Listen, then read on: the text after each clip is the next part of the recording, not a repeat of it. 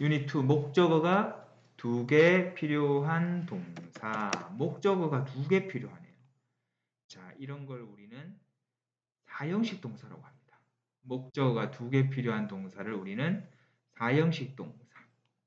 이걸 또 이제 어려운 말로 하면 사형식 동사를 우리 수요 동사다 이렇게 얘기하기도 합니다.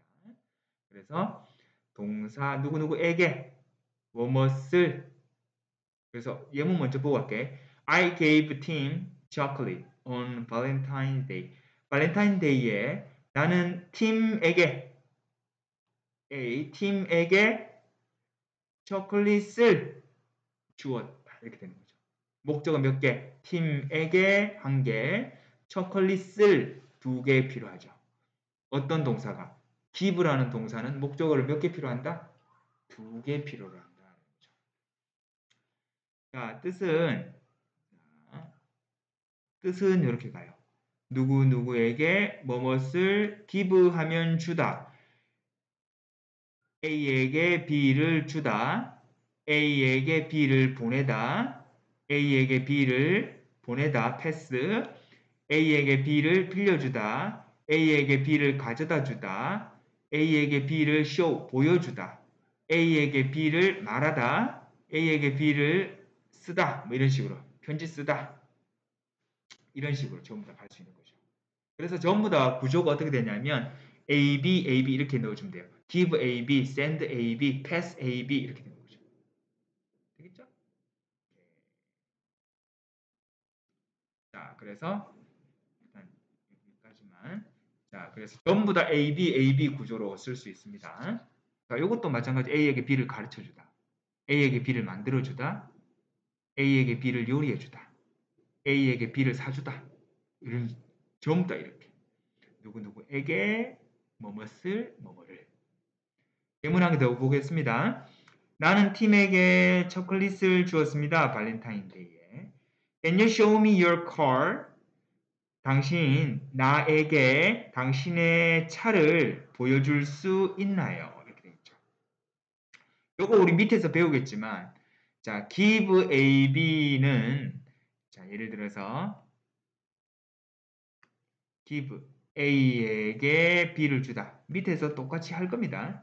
이걸 어떻게 고칠 수 있냐면 give 준다 B를 누구에게 A와 B의 순서를 바꿀 때는 뒤에 전치사가 필요해요. to A 이렇게. 그래서 이렇게 고칠 수 있는 거예요. 나는 초콜릿을 주었다. 누구에게? 팀에게. 발렌타인데이에. 당신은 차를 보여줄 수 있나요? 누구에게? me. 나에게. 요거랑 요거랑 같은 거죠? 요것도 같은 거고, 그죠? 얘도 같은 문장이죠. 오케이. 자, 그 다음에 마이크는 나에게 편지를 썼습니다. write A, B, A에게 B를 썼어요. 자, 그러면 이거 같은 표현 뭐다? Mike wrote 뭐를 썼다? A letter. 자, B를 먼저 씁니다. 대신 요건 어디에 쓴다? to me 이렇게 쓰면 되겠죠? 같은 말이죠? 자, 요거나 요거나 의미가 같은 문장이 되겠습니다. 자, 아까 전에 우리 잠깐 맛을 봤습니다. give A, B를 give B to A로 바꿀 수 있다. 자, 같은 말입니다. 자, 이거를 아까 수요 동사는 우리 4형식이었는데 이거를 아까 3형식으로도 바꿀 수 있어요. 그게 바로 give B to A 구조로 바꾸는 거예요. 자, 이렇게 됩니다.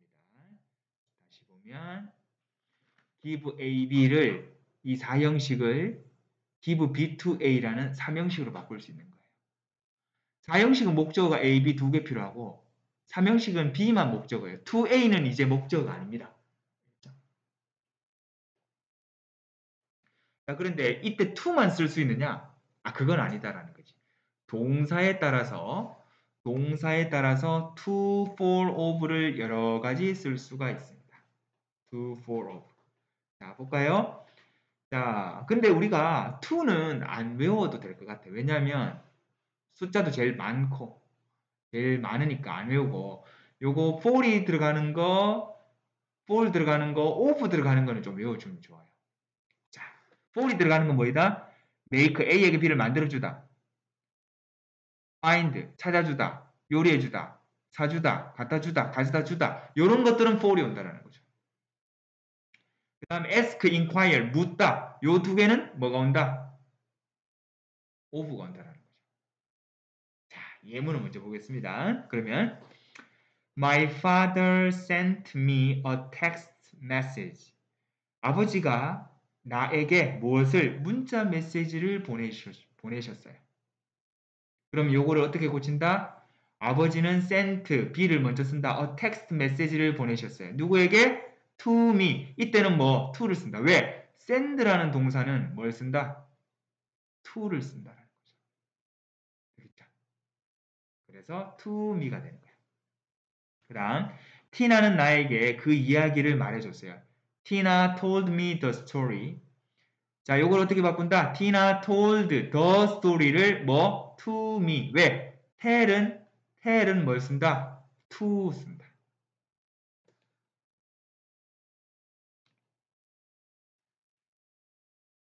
자, 이번에는 for이 오는 경우를 볼까? 자, 예문 한번 볼게요. for이 오는 예문. 자, 수지는 bought me a book. 수지는 나에게 책 한 권을 bought 사줬어요. 자 그러면은 수지는 사줬다 a book 책 한 권을 누구에게? for me 이거를 to라고 쓴다 안 쓴다? to라고 쓰지 않는다. 왜? by는 뭘 써요? by. by는 뭘 쓴다? for를 쓰기 때문에. 알겠죠?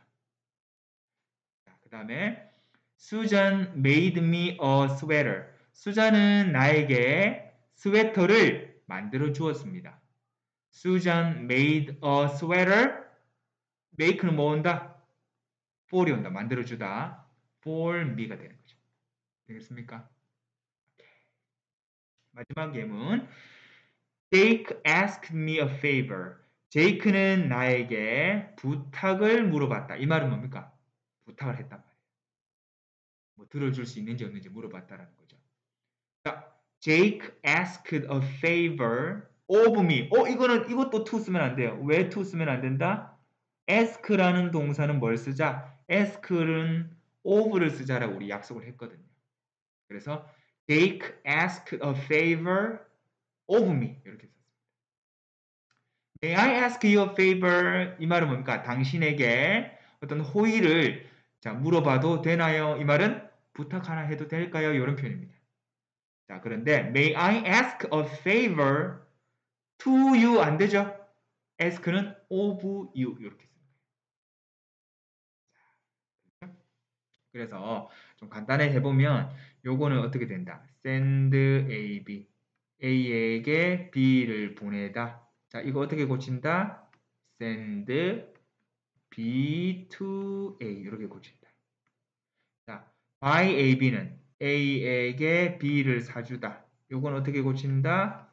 by B, B를 사준다. for A, A에게, A를 위해서. 자, ask AB 하면 A에게 B를 묻다라는 뜻인데 요것도 우리 삼형식으로 고친 목적 한 개로 줄일게요. ask B를 묻죠? 누구에게? of A에게. 그래서 A가 앞에 오느냐, A가 뒤에 오느냐에 따라서 전치사가 붙고 안 붙고 차이 납니다. 요거 잘 기억해 주세요.